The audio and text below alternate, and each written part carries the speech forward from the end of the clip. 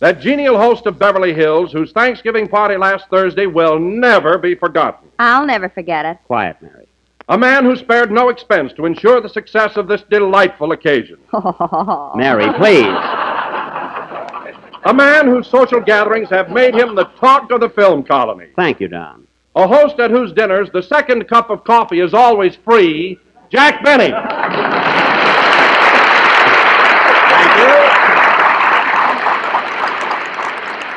Thank you. Hello again. This is Jack Benny talking. And Don, I'm glad you had such a nice time at my Thanksgiving party. But what did you mean the second cup of coffee was free? Ah, I was only kidding, Jack. Mary was ribbing you, so I thought I'd join in. It was really a grand evening. Well, thanks, Don. And it's for you, Miss Livingstone. That's the last time you'll ever have dinner at my house. Oh, Jack, don't be so touchy. Well, who wouldn't be? Gee, you're getting so sensitive lately. It's simply awful. Just the same, you're not eating at my house anymore. Who cares? My ticket is punched out anyway. My, that's comical. You know, it seems strange, Mary, but you're the only one that gets bored when I invite the gang over. Hey, Phil, What is it, Jackson? did you have a good time at my Thanksgiving party? Yeah, it's the first time I ever got a hangover from a turkey. Phil, you don't have to tell me how you got a hangover. You were doing all right long before you came to my house. What do you mean? When I opened the front door, you fell in like a body in a murder mystery. Not only that, you brought me a manhole cover.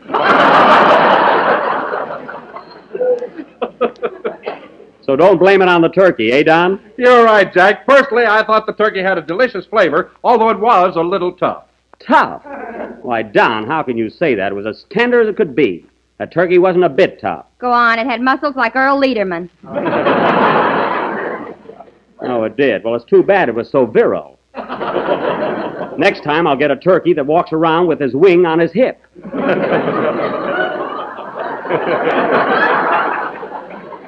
Maybe you like that better. And oh boy, the soup you served. You know, Phil, it reminded me of that new picture. What picture? The, The rains rains came. Well, I suppose it wasn't a hit. Listen, fellas, if my party was such a big flop, how did it happen to crash the newspapers? It was right on the society page of the Beverly Hills Citizen. The Beverly Hills Citizen. Yes, Don, I got it right here. Get this. Here, read it to him, Mary. Okay. Do you suffer from itchy skin? If so, try. It's on the other side. Here, give me that. I'll read it. Listen, fellas. Uh, Jack Benny entertains. That's the headline.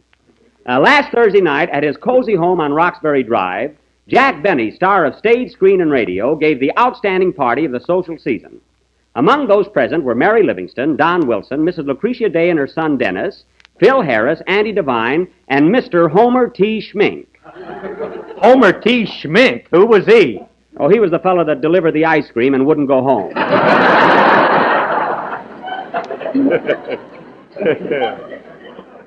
go ahead, Mary. You're reading it. Oh, yes. Among those, among those unable to attend this scintillating event were Clark Gable and Carole Lombard, Here they come, folks. Robert Taylor and Barbara Stanwyck, Tyrone Power and Annabella, the Fred MacMurrays, and Mrs. Homer T. Schmink.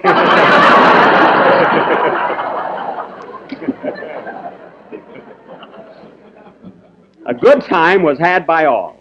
How's that for a write up? Let me see that, Jack. Here you are, Mary. Look at that big print on top. Jack Benny Entertains. Yeah, and look at that little print at the bottom. ADVT. ADVT. Yes, that means an ad, and you paid for it. It means nothing of the kind. Now, wait a minute, Jackson. ADVT means a paid ad in any newspaper in the country. Not in this case, Phil. Then what does it mean? ADVT means a dinner vit turkey.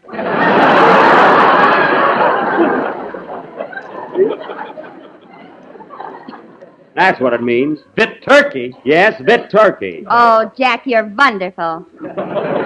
All right, Mary, I don't care what you say. I consider that a very lovely notice. It notice. certainly was, Jack.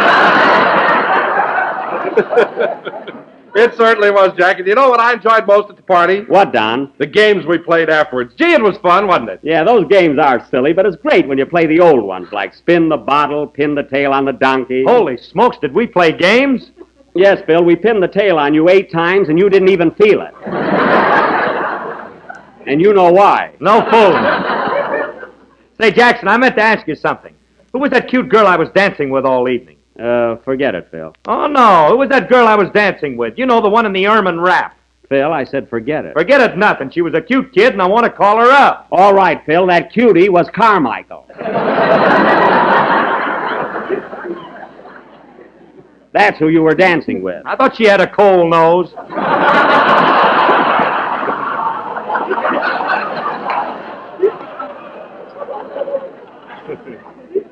You and Carmy were certainly the life of the party. oh, hello, Dennis. Hello, Mr. Benny. Gee, I had a good time at your house Thursday night. The dinner was swell. Well, I'm glad you liked it, Dennis. And incidentally, you're still new on the program, and I don't want to be bossy or anything, but, you know, we never chew gum during a broadcast. So please throw it away. I'm not chewing gum. Now, Dennis. This is a piece of turkey from your Thanksgiving party.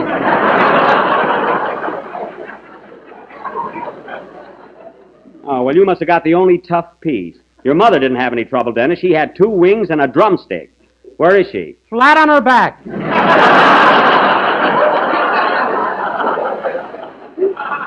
Why, Dennis, you mean your mother's ill? There you are. The turkey got her. Phil, it couldn't have been the turkey. Or maybe it was the dressing. Don, it wasn't the turkey and it wasn't the dressing. Couldn't have been the butter. We didn't have any.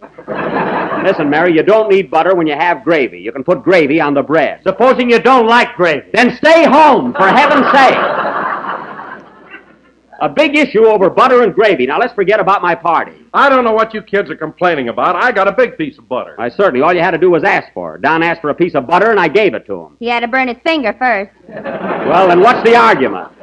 Butter is very good on a burn. I suppose it's no good on bread. All right!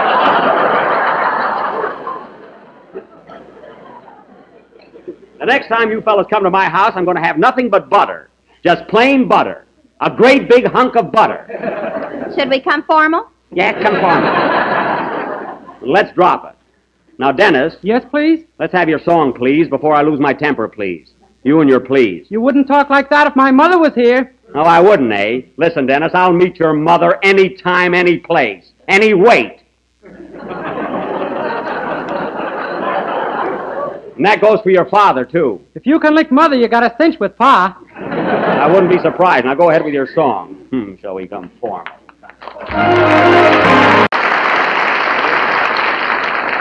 That was Faithful Forever, sung by Dennis Day and accompanied by the orchestra, who were still playing I Must Have One More Kiss, Kiss, Kiss. and you both did very well.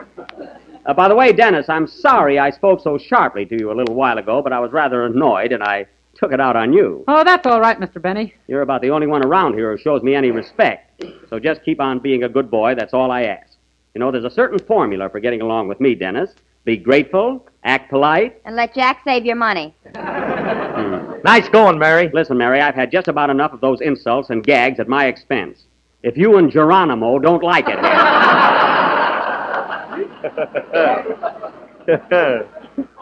why don't you why don't you go out and get your own program? We've been thinking about that. Oh, you have. Sure, there are plenty of jobs for a guy like me. Oh, there are. Well, Phil, let me ask you something.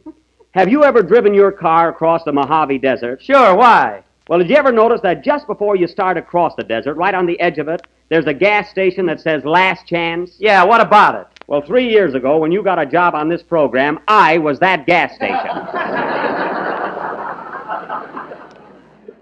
Just remember that. What are you talking about? Three years ago, my band was the hottest thing in town. Sure, it was the hottest thing in town. You were working in a barbecue pit.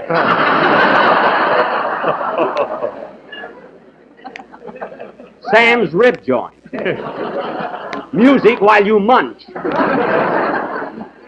So don't tell me. Well, we all have our ups and downs. I'm considered the top band leader today. Oh, you are, eh? Right now, I'm at the pinnacle of my career. Peanut. Oh, boy, what a guy. You know, Phil, sometimes when I look at you, all I can do is shake my head. Just shake my head. You wouldn't if you could stop it.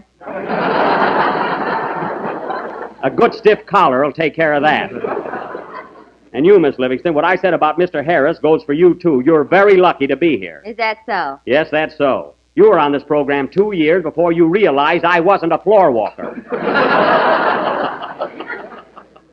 and take that pencil out of your hair.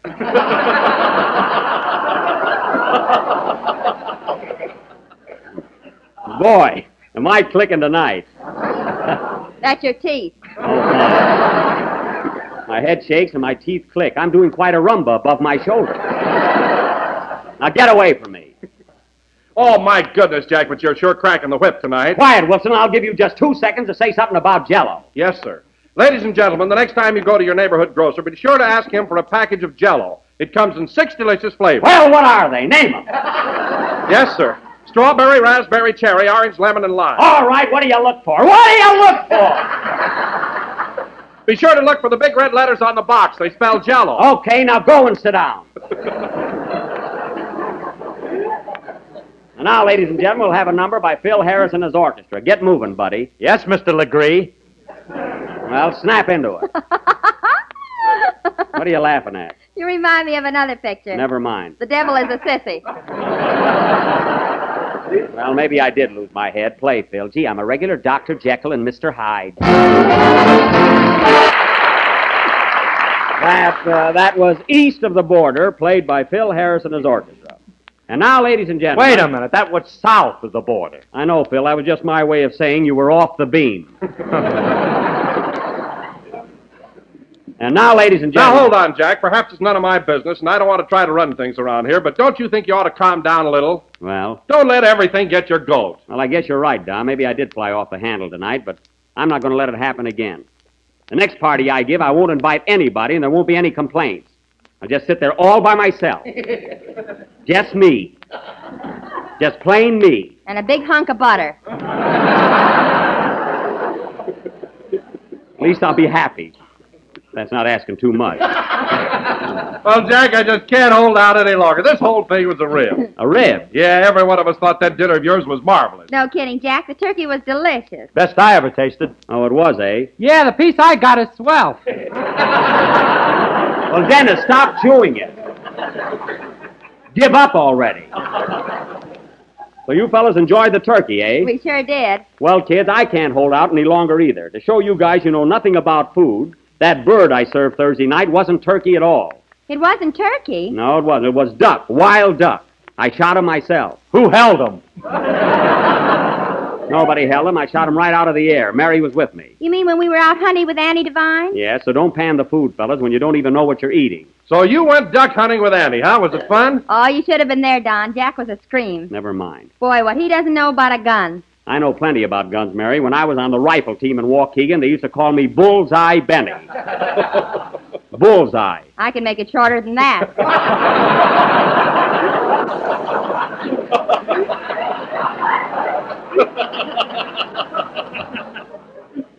All right, forget it. What happened at the duck hunt, Barry? Well, It's not important. well, Jack and I left Tuesday and stayed overnight at Andy's ranch. I see. And about four o'clock the next morning, I was down in the kitchen helping Andy's mother get breakfast. Uh huh. Well, anyway, Andy went upstairs to wake up Jack. And pretty soon we heard him hollering, Hey, Buck, it's four o'clock. Hey, Buck, it's four o'clock. Come on, we gotta get going. Hello again. Oh, hello, Andy. What's the matter? Well, if you want to shoot any ducks, we better get started. Okay, Andy. I'll be dressed in a minute. Oh, boy, I'm tired. Gee, Buck, you sure look funny in that nightgown. What's wrong with my nightgown? you look like a bride with that long train. That's not a train. My zipper got caught in the sheet.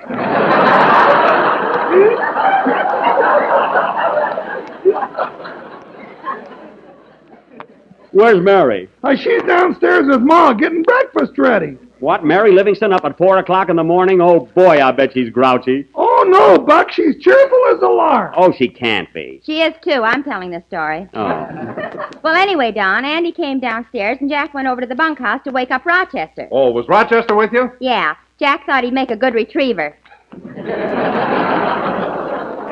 so Jack went over to get Rochester, and he had an awful time waking him up. You could hear him yelling at the top of his voice. Rochester. Hey, Rochester. Come on, Rochester. Rochester, we got to get going.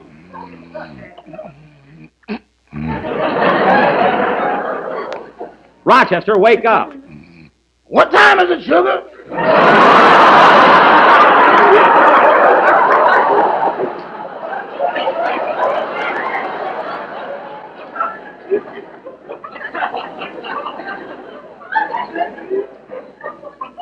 It's four o'clock and it's me. Now get up. Can I sleep a little longer? No, you can't. The ducks are waiting for us. Boss, anything that waits for me at 4 o'clock in the morning better pull up a chair and relax. Don't be silly, Rochester. How can a duck pull up a chair? Sit down, boss, and we'll discuss it. Never mind. Now you get up out of that bed and make it snappy. Come on. It's dark outside. Now quit stalling. I'll give you just three to get up. One, two, three. Rochester, if you don't get up right away, you're going to miss breakfast. I'm going to score on lunch, too.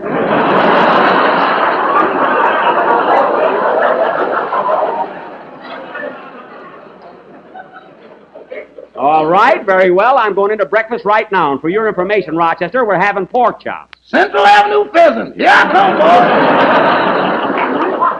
I thought so. Now hurry it up. Well, Don, it was about five o'clock when we finished breakfast, and then we started out for the duck pond. But, Mary, you're not allowed to shoot ducks that early in the morning, are you? No, Don, we had to wait about an hour, but you could hear 'em all over the place. There were hundreds of 'em.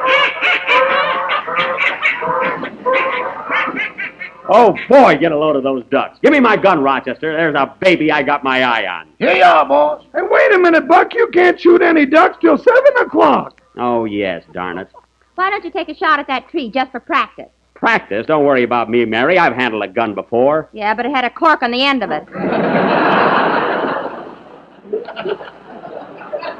I mean a shotgun. Say, Buck, I meant to tell you that gun I'll let you have has got a powerful kick when it goes off. Better be careful. Oh. I will, Andy. You're worse than Mary. I got a gun at home just like this, a 12 millimeter. Millimeter? You mean gauge? Well, whatever it is, I got one. I know how to handle it. Just the same, you ought to try it out. Okay, I'll show you kids some fancy shooting. See that orange hanging on that tree over there? Watch me knock it off. That's the sun. It just came up.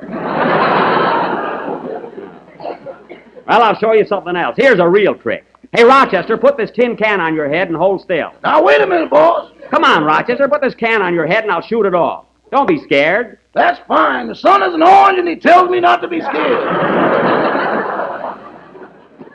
Rochester, it's a very simple trick. I saw a man do it in vaudeville. Well, vaudeville's dead, and I ain't gonna tell it to move over.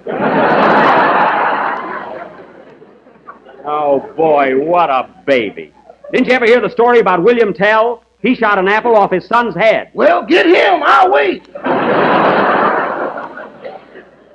All right, if you don't want to play, don't play. I never saw a guy worry so much. Hey, Andy, come here a minute. What do you want, Buck? Hold your cigarette up in the air. I'll shoot it out of your fingers. Nothing doing, Buck. I gotta unlace my shoes tonight. Oh, what a game. No one's game to do anything. Well, if you want to try out the gun, why don't you shoot at that elm tree over there? All right, I'll bore a hole right through it. Now be careful of that gun. It kicks like a mule. Oh, Andy, let me alone, will you? Now watch, everybody. I'm aiming right for that tree.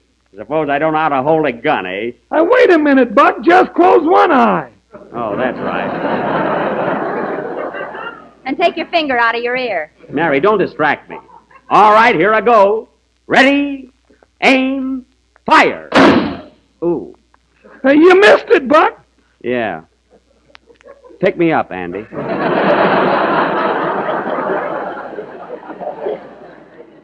You were right about that gun.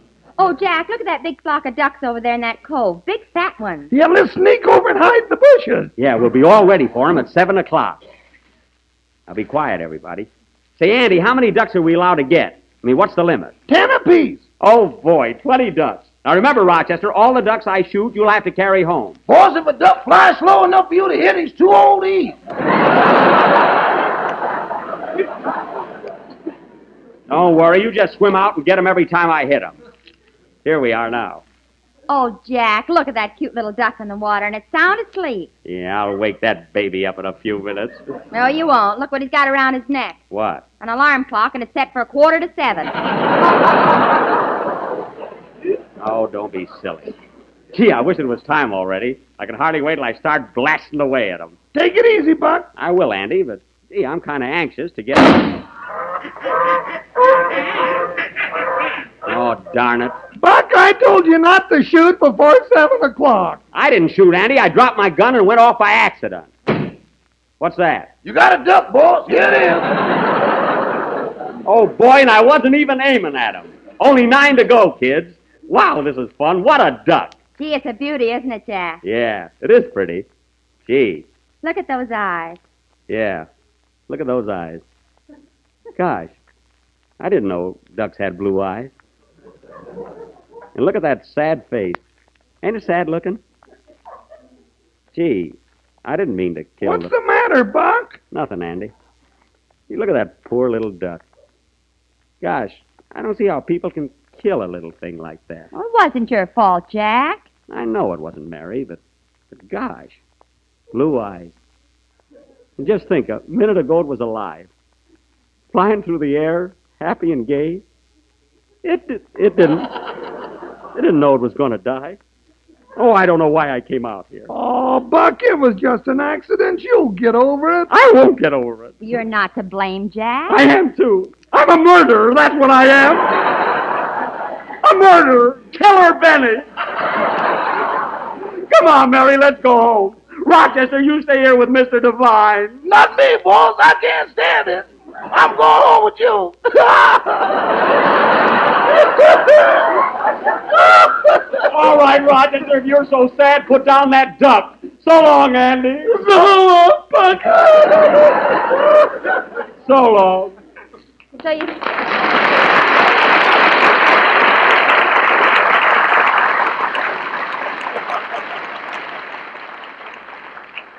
So you see, Don, that's exactly what happened when Jack went on a hunting trip. But, Mary, if that's the case, where did Jack get the wild ducks for the dinner? He bought 'em in a market, and they weren't any wilder than his. Well, at least my conscience is clear. I can sleep nights. Play, Phil. We're a little late, so good night, folks.